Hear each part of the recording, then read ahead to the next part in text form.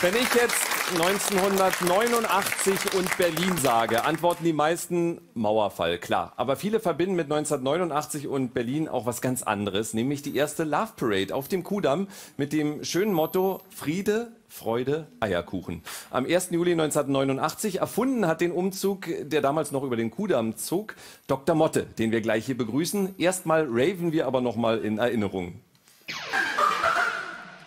Unsere Welt ist Klang. Unser Guru, Dr. Motte.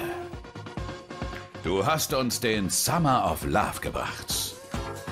Die Love Parade.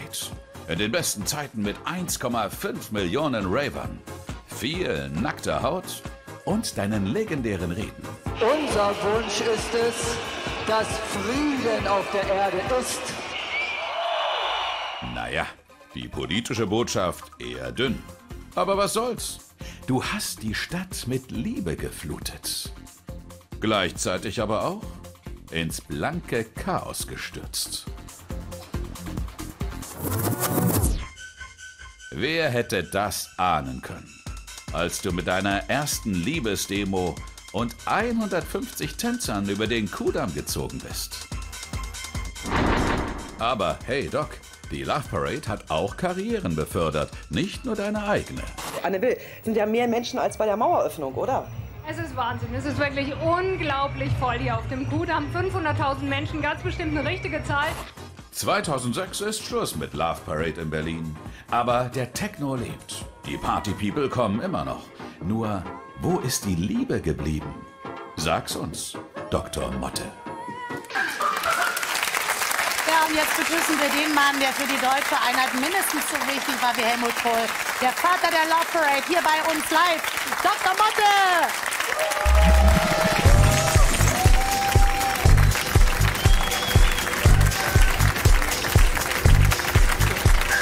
Hallo. Hallo. Schönen guten Abend. Ja, habe ich mitgebracht. Toll. Gibt Geschenke drin. Gerne hier an den Tisch kommen. Naja, das habe für ich. mich? Na, auch für euch beide. Ich habe was Echt? mitgebracht. Er war gerade noch einkaufen. Wo ist die Liebe? Papa Motte hat Da ist Geschenke. sie. Oh, Oh, danke. wie, wie früher, ja. Ja. Ja. Und dann habe ich noch was Oh, mit. Ein ich muss Sie Flummi. gar nichts mehr fragen, ein Sie können Ki- gleich ein, gehen. Ein Flummi. Äh, Guck mal da. oh, oh, vielen Dank, ja. Bitte gerne. Damit ist für mich das Wesentliche dieses Gesprächs schon geschafft. Ja, hat aber, mich gefreut. Ja, aber gerne, gerne Platz nehmen. Ähm, äh, 30 Jahre Love Parade, woran merkst du, dass das irgendwie ein besonderes Jubiläum ist? Na, ich werde dieses Jahr so oft darüber interviewt. Und außerdem machen wir äh, ja auch noch eine Sonderausstellung in der 90s Berlin Ausstellung in der Alten Münze. Und die wird am 1. Juli eröffnet. Und da sind wir jetzt schon da total dabei am Sammeln, am Sammeln, am Sammeln. Am Aber die, man, man blickt dann so mit leuchtenden Augen zurück, aber man muss ja ehrlich mal sagen, der 1. Juli 1989, es hat genieselt. 150 Leuten zogen zu Technoklängen über den Kudamm. War das eigentlich schön? Also das war super. Ich, also wenn ich daran denke, wie wir da so blauäugig am Wittenbergplatz zuerst standen und da war keiner. Wir kamen mit unseren Wagen da an und es nieselte und die ganzen Fans alle oder die Leute, die gesagt haben, sie kommen, keiner war da. Und dann irgendwann kam, also wir wollten eigentlich um 16 Uhr starten und um 16.30 Uhr standen wir immer noch da und dann kam der Polizist, der äh, Leiter der Polizei dann, wollen wir mal loslegen? Ich hab Ja, auch wirklich. den, äh, ich nee, nee, nach Hause. haben wir gesagt 16 Uhr. Und dann gesagt, okay, dann fangen wir halt an. Und dann haben wir einfach die äh, Stromgeneratoren angeschmissen und dann ging die Musik an. Und, dann Und sag mal, manche dann kriegen ja schon Föhn, wenn sie irgendwie so ein Brunch vorbereiten müssen für Freunde. Wie hast du dich vorbereitet auf die erste Love Parade? Naja, ich hatte die Idee im Mai, äh, da stand er vom Club und dann plötzlich kam so die Daniel Düsentrieb-Lampe. Wirklich. Und dann Ja. wusste ich, wie es geht. Und äh, dann habe ich gesagt, ey, wir melden eine Versammlung an, ziehen über den Kudamm mit unserer Musik und alle so, yeah. Und dann einfach machen. Super. Naja, das ist Also- ja eh Berlin, ja. Do it yourself und nicht denken, machen. Gut, das war aber auch zu der Zeit besonders krass. Also, das ist natürlich die Frage, weiß. würde das heute noch gehen, meinst du? Umso größer die Aufgaben werden, umso mehr muss man vorbereiten und dann ist man teilweise so zwei Jahre am Plan. Und das ist, also Ja, ich meine, je größer die. Aufgaben, die Zahlenzuwachs, 150 Teilnehmer auf 1,5 Millionen. Also, äh, pff, das kennen wir sonst nur vom BER. In welchem Moment hast du gemerkt, das Ding wird hier ein Weltereignis? Na, das geht ja nicht von heute auf morgen. Das äh, ist ja so, damals gab es noch kein Internet und noch keine äh, Handys.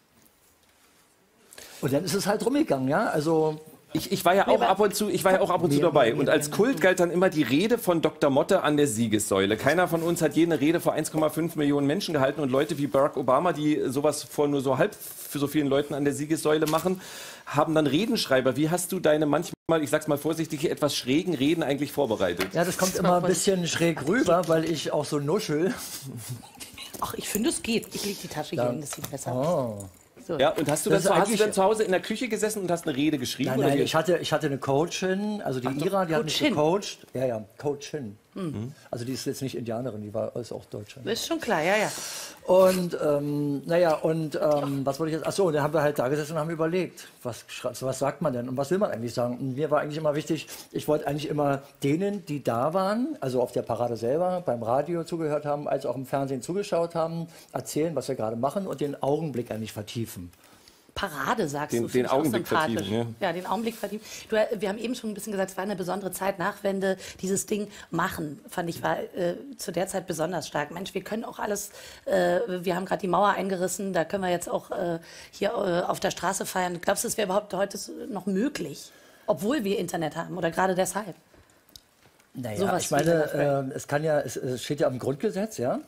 Steht im Grundgesetz, jeder kann sich unter freiem Himmel versammeln. Jeder.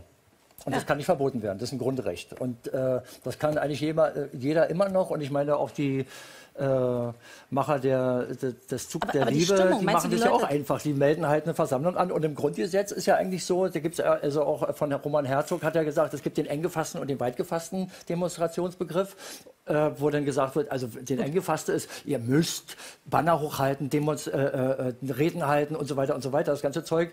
Und der weit gefasste ist, es reicht die körperliche Anwesenheit auf der Demonstration. Gut, aber ob dieser weit gefasste Begriff der körperlichen Anwesenheit heute noch so genutzt wird oder wie es damit so aussieht, das wollen wir uns mal ein bisschen genauer angucken.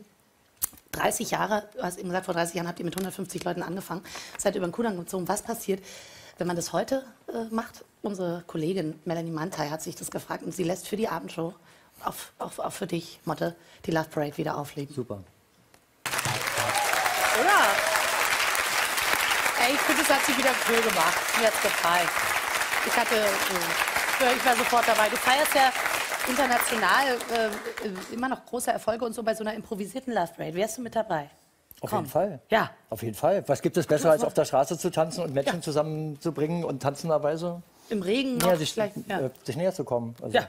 Was wollen wir denn mehr? Du bist, äh, Britta hat es gerade gesagt, du bist international unterwegs, du legst noch ganz äh, viel auf. Berlin hat sich ja rasant verändert. Wenn, wenn andere über Berlin reden, denkt die immer noch an die Love Parade oder wird da auch viel genölt, wie der Berliner ja auch gerne nölt? Na, eigentlich, äh, was äh, ja, eigentlich bekannt ist, äh, Berlin ist ja dafür bekannt, dass ähm, halt so viele äh, sehen, was hier so kulturmäßig los ist. Also ich meine, wir haben ja eine Vielfalt an, an Kultur, wir haben ja unheimlich viele Spielspät Spielstätten und äh, 70 Prozent aller Berlin-Besucher kommen ja deswegen nach Berlin. Und äh, was jetzt gerade die Club Commission ja auch gesagt hat, ist, äh, die, der ganze Kulturbereich, der Clubkultur insgesamt alles, 1,5 Milliarden Euro Umsatz in der Stadt. Ja. Und das ist also, da bleibt auch für Berlin was hängen und das ist also schon gewaltig. Und deshalb ist das also hier weiter am Leben. Deshalb so eine kleine Love Parade, mein Gott. Ja, machen. Aber hat die eigentlich so machen. viel Kohle gebracht? Also ich meine, gut, langfristig schon wegen dem ganzen Was, Hype was und so, Britta aber wissen will, bist du reich. Nee, das eigentlich nicht. Das interessiert mich null. Oh, aber Mich ich auch sehe. nicht. Hm, diese Goldjacke. Nee, aber jetzt mal, also das interessiert mich null, weil ich finde das eigentlich so schön, dass oft ja diese anarchistischen Sachen weniger Geld bringen. Darum geht es gar nicht. Es geht Eben. einfach um die Sache an sich. Also Danke. mir ging es immer darum. Es geht um Liebe, verdammt nochmal. Ja, genau, es geht um Liebe. Ja. Ja. 30 Jahre Love Parade, zu Gast in der Abendshow, der Initiator der Love Parade, Dr. Motte. Vielen Dank, hat Spaß gemacht. Wir sehen uns auf der Love Parade. ja. Unser Selbstliebsbier.